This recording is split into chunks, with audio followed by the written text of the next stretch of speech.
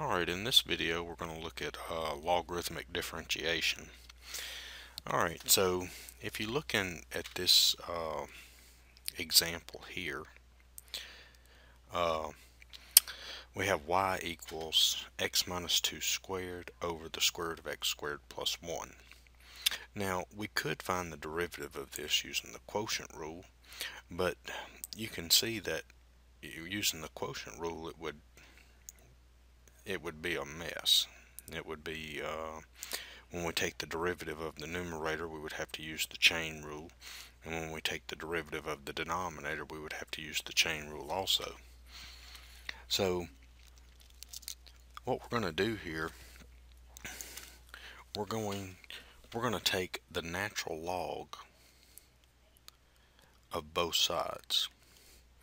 So we got the natural log of y equals the natural log of x minus 2 squared over, now this square root of x squared plus 1, I'm going to rewrite that as x squared plus 1 raised to the 1 half.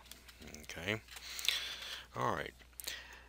Now, what I need to do is use my logarithmic properties to split this up right here, this right hand side. So that's going to give me the natural log of y is equal to the natural log of x minus 2 squared. And remember when you have division, that splits up into subtraction. Okay. And then remember your logarithmic property that says you can take these exponents here and bring them down in front and multiply. So we have the natural log of y equals 2 times the natural log of x minus 2 minus 1 half times the natural log of x squared plus 1. Alright.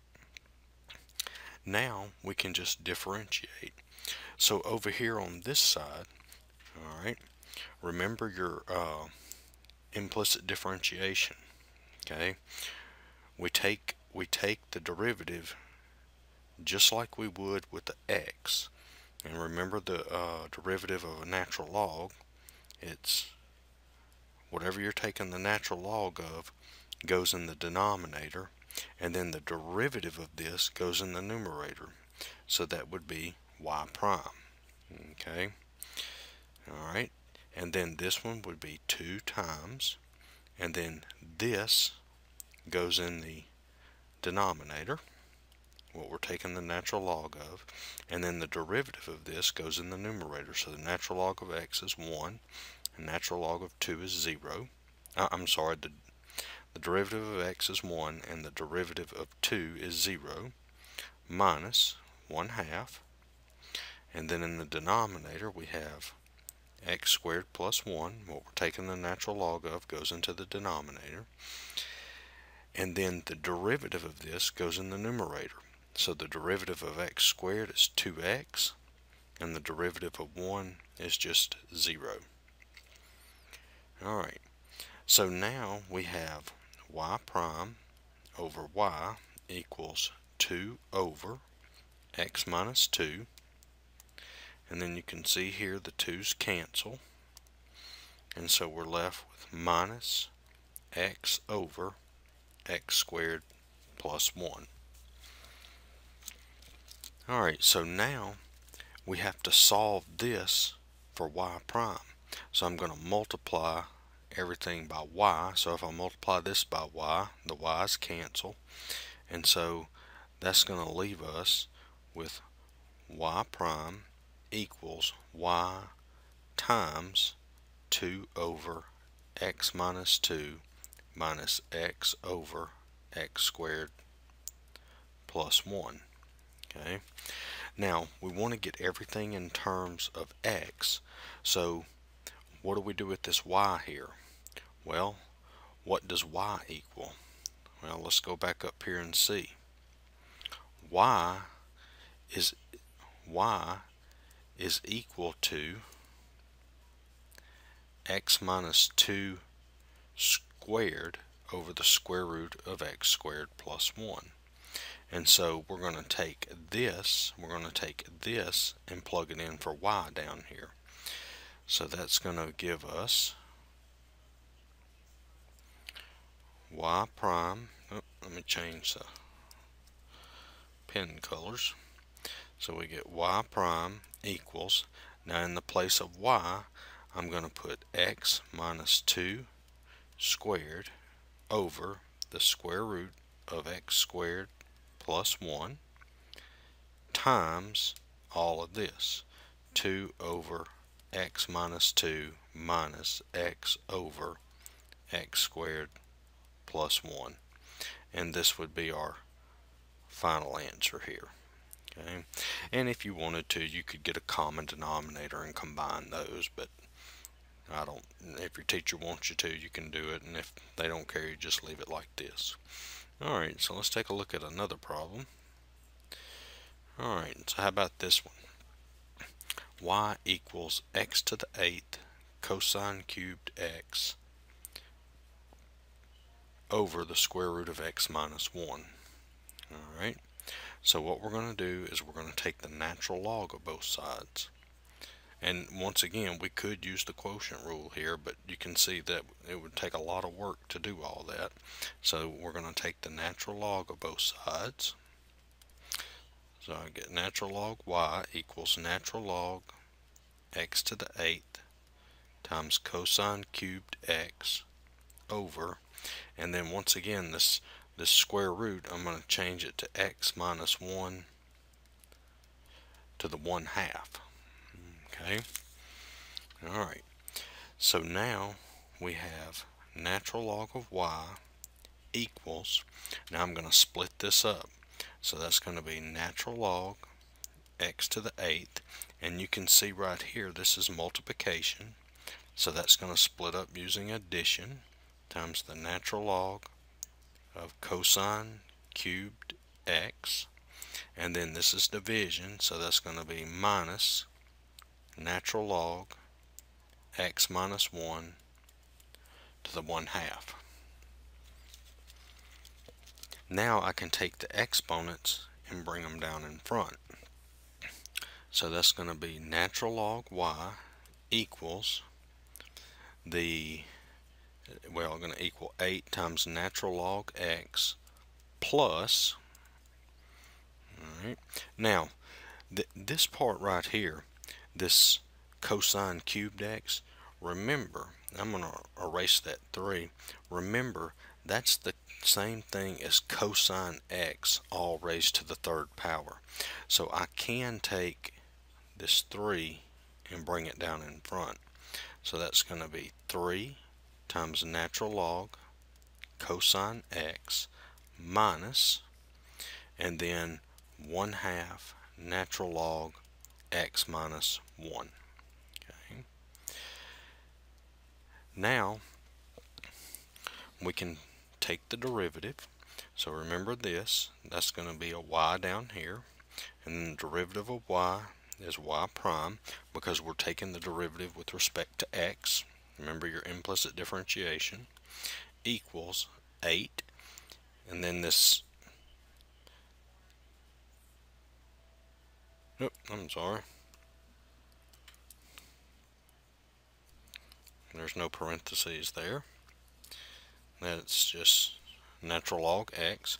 Okay, so the derivative of natural log x, the x goes down here, and then derivative of x is 1, plus 3, and then this cosine here, that goes in the denominator, and then the derivative of cosine is what? Negative sine x minus 1 half and then derivative natural log x minus 1 x minus 1 goes into the denominator and then the derivative of this is 1 derivative of x is 1 derivative of 1 is 0 alright so this is going to give us y prime over y. Move this up a little bit equals 8 over x and then this minus and the plus that's going to be minus 3 sine x cosine x minus 1 over 2 times x minus 1 now we want to get the y over here so we multiply by y so when I multiply this terms, term by y the y's cancel and I'm left with y prime equals y times 8 over x minus 3 and then what's sine over cosine? Well that's just tangent minus 1 over 2 times x minus 1 okay. Now we have to get it all in terms of x. So you see the y right here? Okay. What does y equal? Well y equals this. So we're going to take this and plug it in for y down here. Alright. So that's going to give me y prime equals x to the 8th cosine cubed x over the square root of x minus 1 times all of this 8 over x minus 3 tangent x minus 1 over 2 times x minus 1 and this would be your final answer. Alright, so let's take a look at one more. Alright, so here we have y equals sine x tangent x. Alright, so let's use logarithmic differentiation. So I'm going to take the natural log of both sides.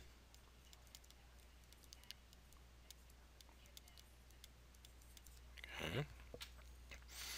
Alright, now remember this is the natural log of sine x and this sine x is raised to the tangent x. So our logarithmic property says we can take this exponent and bring it down in front and multiply. So I've got natural log y equals tangent x times natural log sine x. Alright, so there's going to be a little bit more to this one. We're going to have to, uh, we'll have to use the product rule over here when we do the derivative. Alright, so the derivative of natural log y, got my y down here and y prime. Okay, what we're taking the natural log of goes in the denominator, and then the derivative of what we're taking the natural log of goes in the numerator. Alright, so now over here I have the product rule. So it's the derivative of the first function, and the derivative of tangent is secant squared times the second function. Okay, it's the derivative of the first function times the second function plus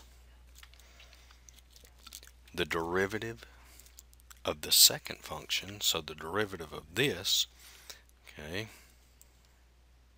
so what I'm taking the natural log of goes into the denominator, I mean, yeah, what I'm taking the natural log of goes into the denominator, and then the derivative of what I'm taking the natural log of goes into the numerator. So that's cosine x, derivative of sine is cosine, times the first function, tangent x. And so I'm left with y prime equals secant squared x times natural log sine x plus, now let's look at this. You see this term here is uh, cotangent and this one's tangent. Well, cotangent times tangent is just 1. Let me show you how we get that. Okay, and if I write tangent in terms of sine and cosine, you see this? You see how these cancel? Oh, I'm sorry.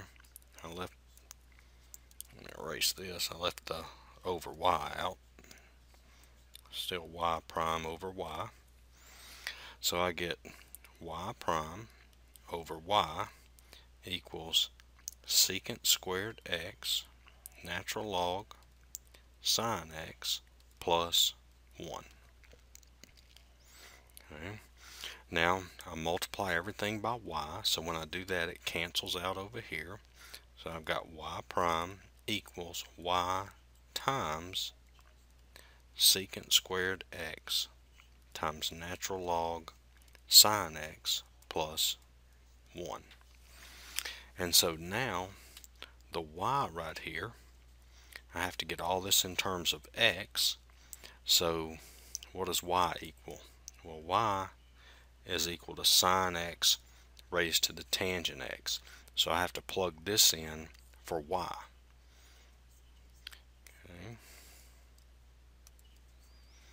Alright, so I get y prime equals sine x raised to the tangent x times secant squared x times natural log sine x plus 1. And this would be my final answer. Alright, so I hope this video's helped.